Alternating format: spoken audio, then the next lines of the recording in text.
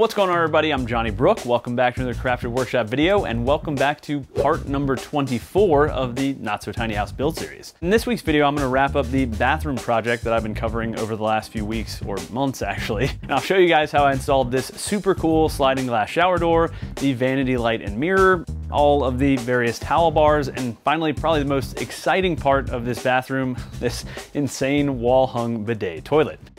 So right off the bat, I wanted to get the sliding glass shower door installed, but I needed to seal the solid stone piece I used on this curb first. And evidently these are pretty prone to staining and the manufacturer recommended sealing the piece, so I knocked that out before installing the shower door.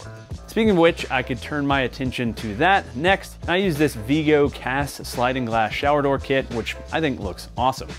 I started the installation process by getting everything unboxed and then moved the inner sliding door into the shower before getting the rail mounted, since it would have been really hard to get it in there with the rail in the way. This shower door system can fit a wall opening of 48 to 52 inches, and the rail needs to be cut to length to match your specific opening size. I made this cut using an angle grinder, which made quick work of the process. Also, I should mention that the mounts on the rail can be flipped around so you can have your door slide from either the left or right wall, depending on where your shower head is installed. Next, I located where either end of the rail needed to be mounted on the wall so I could get the brackets attached and I made sure to double and triple check my measurements here as the last thing I wanted to do was drill a hole in the wrong location on my freshly installed tile walls. So you might remember me having trouble drilling pilot holes with my masonry bit in my wall tile video since the bit kept walking around on me. And I got some great tips in the comments, so thank you guys for that. And you guys recommended I use a glass drill bit to drill holes in the tile instead, and this worked great. And the pointy glass bit stayed in place and made quick work drilling the holes in the tile. Once the hole was drilled, I got the bracket mounted to the wall, although the included screws were a little bit too short, so I swapped in my own screws here. And as you can see, the hole in the mounting bracket is slotted to allow for some adjustment, and depending on how you orient the bracket, you can make adjustments up and down or side to side. I repeated the process on the bracket on the other wall, and then I could unthread the brass plates from the bracket, slide the brackets onto the rail, and then reattach the brackets to the plates to get the rail mounted. After mounting, I checked the rail for level and then repeated the process of removing the brackets to make any necessary adjustments here. And this part of the process was definitely a little fiddly and a second set of hands would have been extremely helpful here. I eventually got the rail nice and level though, and next I could get the fixed glass panel attached temporarily so I could locate the mounting clip and door guide on the curb. And I made sure the door was hanging plumb and then marked the location of the pieces before again removing the door.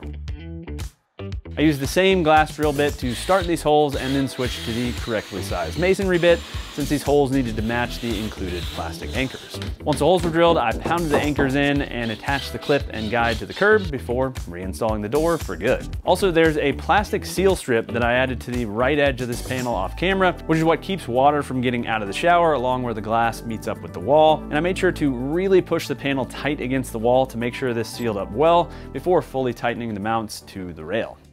Next, I could get the sliding door installed, starting by adding another seal strip to the edge where it would meet the wall, then installing the rollers, then finally hanging the door on the rail.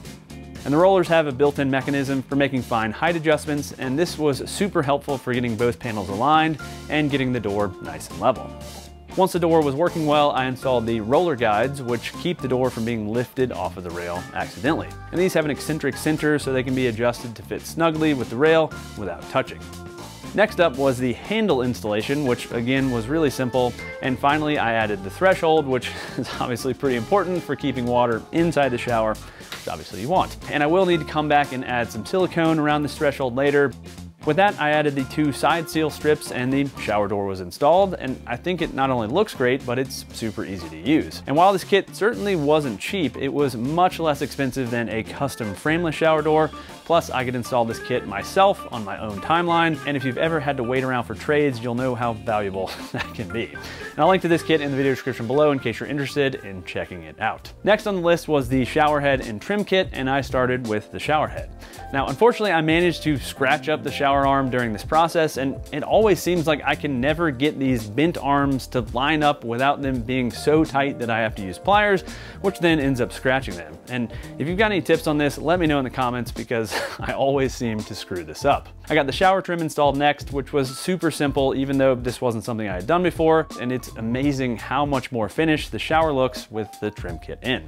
So I'd installed the vanity light earlier in the bathroom project just so we could have a little bit more light in there and this was super simple, but I held off on actually adding the glass shades until now since I didn't want to accidentally break them during the tiling process. Next, I could get the vanity mirror installed, which meant more holes in my new tile, but thankfully this was pretty simple after some quick layout work. I used these wall anchors to hang the mirror, which supposedly hold 50 pounds each, and that's in drywall, and that should be plenty for this mirror. When laying out the mirror height, I centered it between the vanity countertop and the light fixture, but in retrospect, I'm thinking I might should have centered it between the top of the sink and the fixture, but we'll see if I want to raise it a bit after living with it.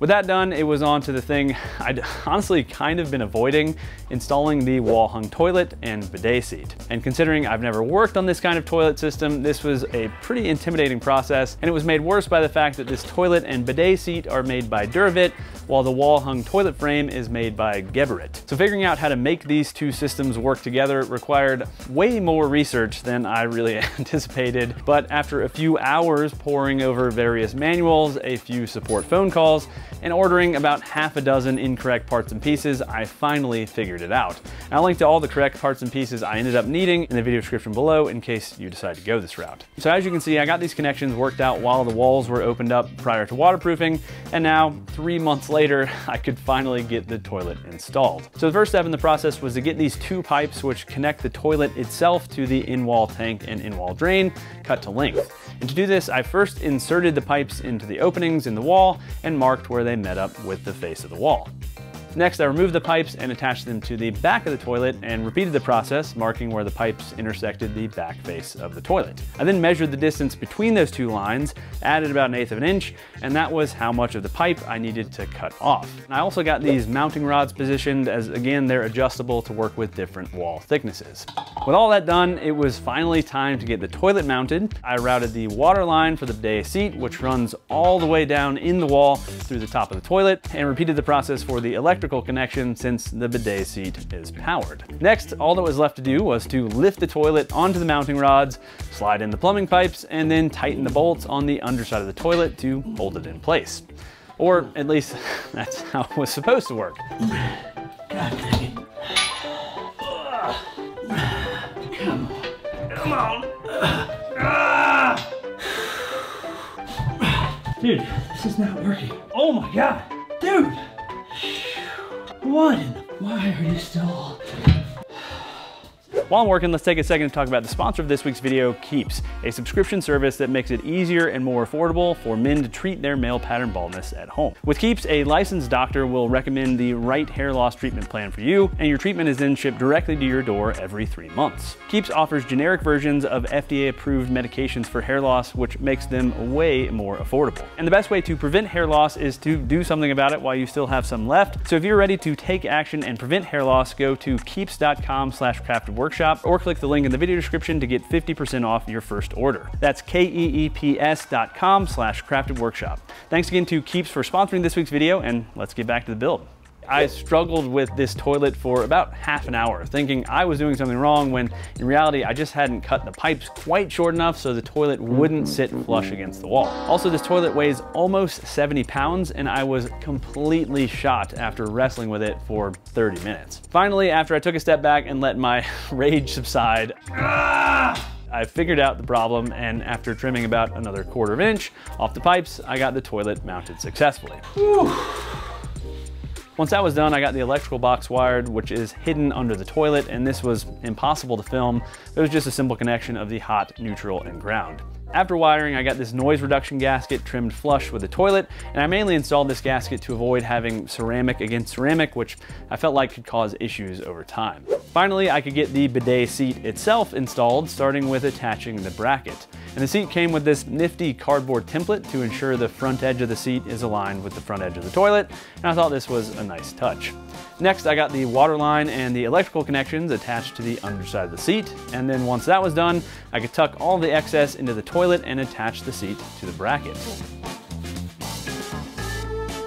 So since the toilet tank is hidden in the wall, this area where the actuator plate will be installed functions as the access panel to all the plumbing. And I needed to get this extra part connected to route the water supply, which is controlled by the blue knob in the top left corner, to both the bidet seat and the tank itself. Once those connections were made, I could also break away the excess material from this rough-in box, which again can be broken to match your wall thickness. With that done, I ran outside to turn on the water, which was hooked up a week or so ago along with the sewer line.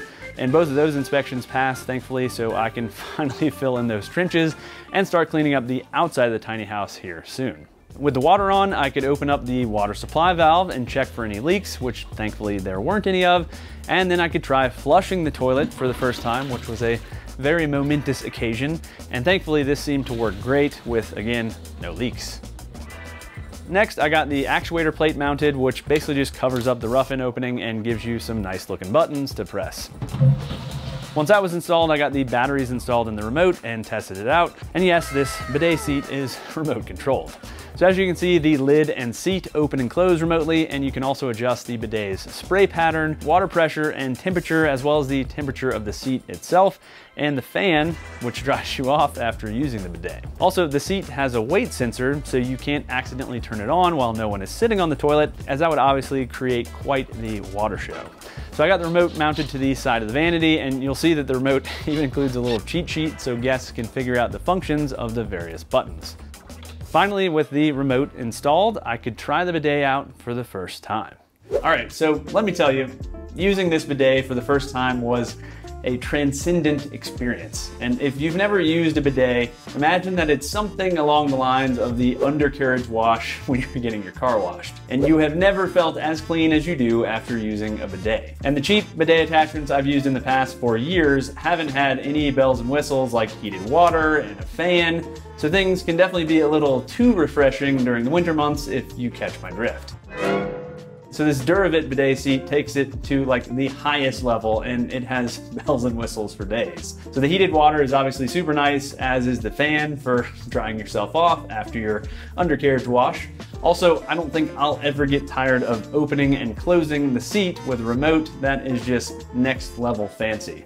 That said, the price tag on this entire toilet setup was fairly astronomical, clocking in at close to $3,000 shipped when you factor in all of the various parts and pieces needed. Now thankfully, Duravit was awesome enough to supply the bidet seat and the toilet, but the question is, would I have bought this with my own money? And the answer is yes. I was planning to buy this setup and decided to just reach out to Duravit before actually pulling the trigger just to see what happened. And I personally consider this kind of thing a long-term investment, one which will pay for itself day after day, sometimes multiple times a day. And not to beat a dead horse with this clip, but if you have the means, I highly recommend picking one up. With the toilet installed, I was in the home stretch in the bathroom with just a few odds and ends left to wrap things up. First, I got some caulking work done, caulking where the tile met the ceiling with a paintable siliconized caulk.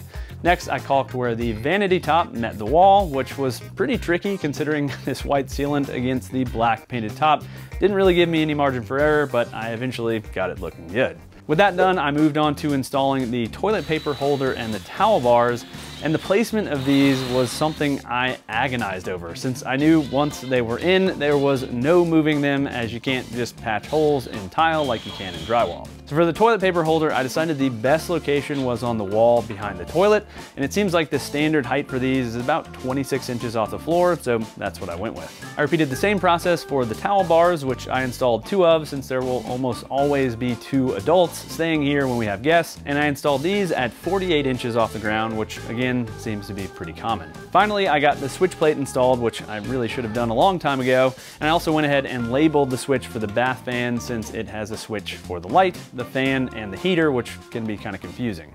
With that, I could finally call this bathroom done. Let me tell you, this project has been a struggle to get through, and you might have noticed I've put out a few less videos than normal because of it. And I started the process of waterproofing the bathroom on July 1st, so that was about three months ago.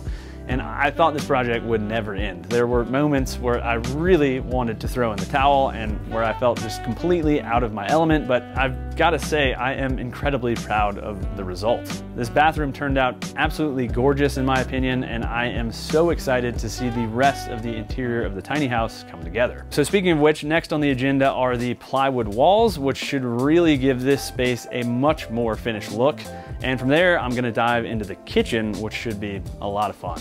So if you're enjoying this series, go ahead and get subscribed and ring the notification bell so you don't miss the future videos. Also, as always, I'll have links to all the tools and materials I used in the video description below. And last, I wanna give a big shout out to all my supporters on Patreon and my YouTube members. You guys are awesome. Thanks again for watching y'all, and until next time, happy building.